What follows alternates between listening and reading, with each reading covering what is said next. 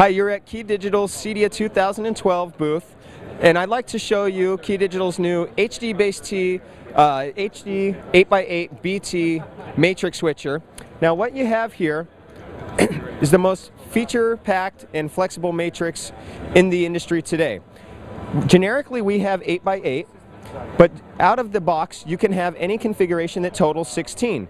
So you could have a configuration of six input cards with 10 output cards, 5 by 11, 11 by 5, again, anything that totals 16. Now with this HDBaseT technology, we've actually also built in a 4 by 4 or any configuration totaling 8, or a 6 by 6 or any configuration totaling 12.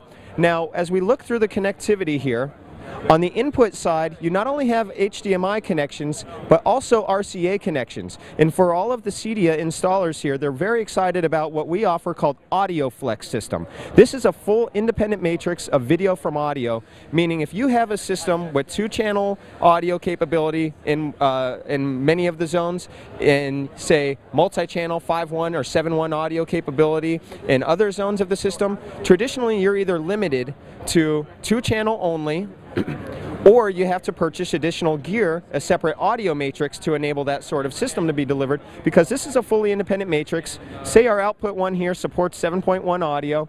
You could select, output one is selecting source one on the HDMI for video and HDMI for audio.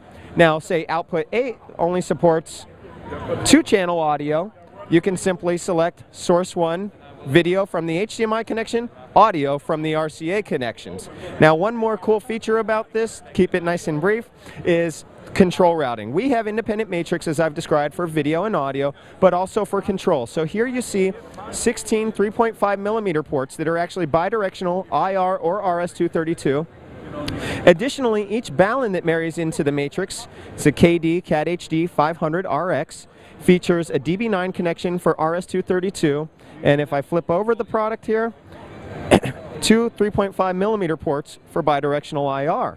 And so what's actually happening here is we're taking the traditional matrix to a whole new level with this technology where you not only have a destination and a source for video and audio, but now you could identify a destination and a source for IR or RS-232. And when you use this product with a control system such as Key Digital's Compass, Compass Control, you actually add 32 control ports to the control system without having to purchase a single expansion unit or a secondary master controller and that saves big money and also saves a lot of room in the rack. So check it out at www.keydigital.com and, uh, and check out Key Digital's Compass Control and Digital IQ products.